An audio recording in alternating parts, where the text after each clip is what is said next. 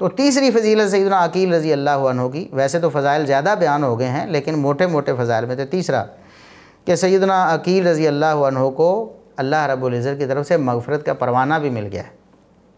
एक तो सहाबा में शामिल होने की वजह से जो अल्लाह रब्ज़त की रिजवान है, वो मुतलकन उसमें शामिल हैं अल इतलाक़ सब पे है। लेकिन सैदना अकील रज़ी अल्लाह के बारे में ख़ास तौर पर अल्लाह रब्ज़त की तरफ़ से मगफ़रत का जो परवाना है, वो जारी किया गया। अभी मुसलमान नहीं हुए। मज़े की बात यह है कि अभी सैदना अकील रज़ी मुसलमान नहीं हुए। अभी हालत कुफर में हैं, लेकिन अल्लाह रब्ज़त इशारे में अपने नबी को बता रहा है। अपने नबी को और मुसलमानों को इशारे में बता रहा है कि इनके बारे में वो रवैया नहीं रखना जो काफरों के बारे में रखते हैं आप। चुनाची अल्लाह रब्ज़त ने फरमाया, या यूहनबी युकुल्मन फ़ी अदीकुमसरा ईलाहू फ़ी कुलूबिकुम खैर गफ़ूररहीम ए नबी, आपके पास जो कैदी है ना, आप उनसे कह दें कि अगर अल्लाह रब्ज़त को मालूम है ना कि आपके दिल में जो है वो खैर है, यानी इस्लाम आपने कबूल करना है, अगर अल्लाह के इलम में है तो फिर जो तुमसे लिया जा रहा है वो कुछ भी नहीं उसके मुकाबले में। लिहाजा हौसला करो। परेशान नहीं हो जाना इस वजह से कि हम इन मुसलमानों के कब्ज़े में आए हैं। असल में हुआ क्या था? गजब बदर में मुसलमानों के हाथ कुछ जंगी कैदी लगे थे, जिनमें से सैदना अब्बास रज़ी अल्लाह भी थे, नबी के चचा, और सैदना अकील रज़ी अल्लाह भी थे, नबी के चचाजाद और कुछ और भी बनु हाशम के लोग थे।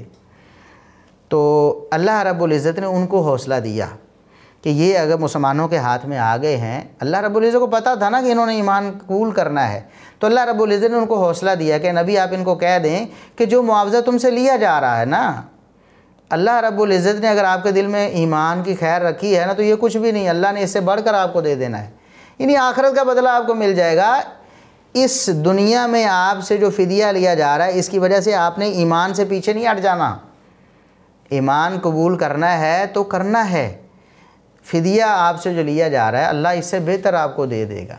ये देखें, ये गजब बदर के मौके पर आयतें नाजिल हो रही हैं, जबकि इसके बहुत बाद मुसलमान हो रहे हैं सैदना अकील रज़ी अल्लाह और सैदना अब्बास रज़ी अल्लाह हो लेकिन अल्लाह रब्ज़त पहले बता रहा है कि वल्ला वय फिर लकुम, अल्लाह रहीम, अल्लाह तुम्हें माफ़ भी करेगा, इससे बेहतर देगा। अल्लाह बहुत माफ़ करने वाला है। अब इसकी तफसीर एक हदीस भी हम आपको सुनाते हैं कि ये जो बात मैंने की, ये को अपनी तरफ़ से थोड़ी कर दी है कि हदीस की, वो आयत की तफसीर की है ना? तो वो, ये तबक़ातुल्कुबरा इमाम साद रहमत की किताब है, उसमें सही सनद के साथ ये रिवायत मौजूद है कि नबी करीम सल्लल्लाहु अलैहि वसल्लम ने बदर वाले दिन अपने सहाबा से फरमाया, बयान करने वाले हैं अब्दुल्ला इबन अब्बास। अब्दुल्ला इबन अब्बास बयान करते हैं कि नबी करीम वसल्लम ने अपने सहाबा को मुखातब किया बदर वाले दिन। फरमाया, इन्नी आरफ़ तो अन्ना रिजाल में बनी हाशिमिन वगैरह हिमकद उखरजू कर हन ला हाजत लहम बिकतालना। कुछ लोग बनु हाशम से ऐसे हैं जो, और दीगर लोग भी कुछ ऐसे हैं जो काफ़रों के साथ मिलके निकले थे, लेकिन मजबूर थे वो। वो बेचारे मजबूर थे, अगर ना निकलते तो काफिर उनको नुकसान पहुंचाते। वो सिर्फ़ अपने आप को बचाने के लिए निकले थे, वो हमसे लड़ने के लिए निकले नहीं। ना ही हमसे उन्होंने कोई लड़ाई इस तरह की की है कि हमें उन्होंने मारना चाहा। हो फमन लाकिया मिन को महाद अमिन बनी हाशिमिन फला यकतुल हो। बनु हाशिम में से जो भी कैदी हो, तुम्हें मिले तो उसको तुमने कत्ल नहीं करना। बदर में बनु हाशिम में से किसी को कत्ल नहीं करना। हालाँकि काफरों के साथ आए हैं तो दुश्मन है, मुकाबले में मारा जाना है उन्हें। लेकिन नबी करीम वसल्लम पहले ही मना फरमाया, नहीं भी, कत्ल नहीं करना। और आगे फरमाते हैं, मन लाकी अब्बास अपन अब्दुलमतलबी अमन नबी ये वसल्लम फ़ला यकतुल हो जो मेरे चचा अब्बास को मिले ना, उस कत्ल ना करे अब्बास को। और इसी फ़ैनमा उखरज मुस्तकरहन, क्योंकि उनको मजबूर करके निकाला गया है, वो खुशी से हमारे लड़ने नहीं आए हमसे। तो अब्बास रज़ी अल्लाह भी उधर और अकील रज़ी अल्लाह भी उधर।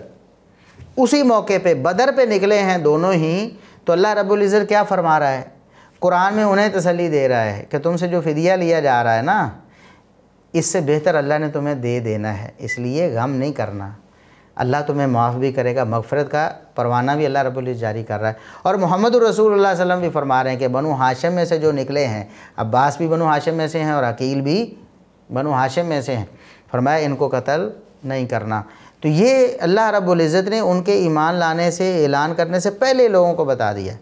अगरचे वो काफरों से मिलकर आ रहे हैं, लेकिन अल्लाह रब्ज़त अपने नबी को वही कर रहा है और नबी अपने सहाबा को बता रहे हैं कि इन्हें कत्ल नहीं करना और अल्लाह उन्हें तसली दे रहा है। अब इसकी जो सनद है, अब कोई एतराज़ कर सकता है कि अब्बास बिन अब्दुल्ला बिन माबद जो हैं, वो अम्बाज अहल ही अपने, बाज़ अहल से, अपने घर वालों से रिवायत कर रहे हैं।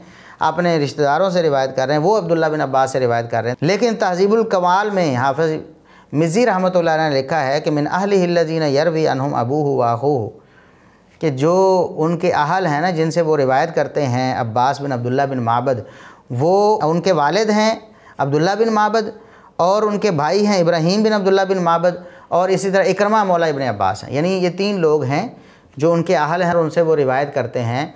अब्दुल अब्बास बिन अब्दुल्ला बिन माबद। तो वो तीनों सिका हैं। उनके वालद अब्दुल्ला बिन माबद भी सिका हैं और उनके भाई इब्राहीम बिन अब्दुल्ला बिन माबद भी सिका हैं और इकरमा मौला इबन अब्बास भी सिका हैं। लिहाजा इस रिवायत में कोई इल्लत नहीं है और ये सही है। तो इससे मालूम हुआ कि सैदना अकील रज़ी अल्लाह को अल्लाह रब्ज़त ने पहले से ये बशारतें थी, उनके बारे में अपने नबी को बता दिया था और उनको कत्ल होने से भी बचाया है।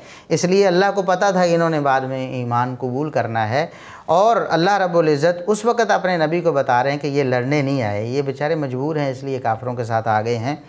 तो इतनी बड़ी शान और इतना बड़ा मकाम जो अल्लाह रब्ज़त ने दिया है सईदना अकील रज़ी अल्लाह को, वही जो सईदना अब्बास रज़ी अल्लाह को दिया था, वही सईदना अकील रज़ी अल्लाह को दिया। तो ये लोग उनके ख़िलाफ़ तोहन मेज़ गुफ्तु करते हैं और कहते हैं कि हम अहल बैत के मुहब हैं।